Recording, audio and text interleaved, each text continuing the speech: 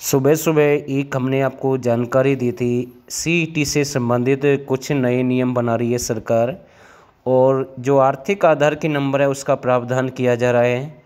कभी कुछ जानकारी आती है निकल कर सामने, कभी कुछ आती है, लेकिन अब भी बहुत सारे जो हमारे साथी हैं या फिर हमारे सब्सक्राइबर हैं या फिर हमारे स्टूडेंट हैं, सुबह से ही मॉर्निंग से मैसेज कर रहे हैं क्या जून में एग्ज़ाम नहीं होगा। तो मैं आपको बताना चाहता हूँ इस वीडियो के माध्यम से। अभी भी मैं अपनी बात पर डटा हुआ हूँ और मुझे अब भी उम्मीद है मैं हंड्रेड परसेंट यही कह सकता हूँ कि जून में ही एग्ज़ाम होगा। आप अपने एग्ज़ाम की तैयारी करते रहें। जो भी नियम बन रहे हैं, उनसे कोई फ़र्क नहीं पड़ेगा। और पहले भी हमने आपको जानकारी दी है कि इस वीक में आपका नोटिफिकेशन जारी होने के पूरे पूरे चांस हैं। अभी समय बाकी है।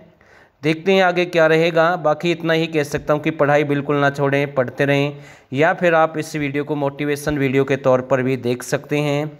तो कुछ जानकारी थी आपके साथ शेयर कर दिए रियल में ही जितनी भी जानकारी थी वो हमने आपको बता दी है।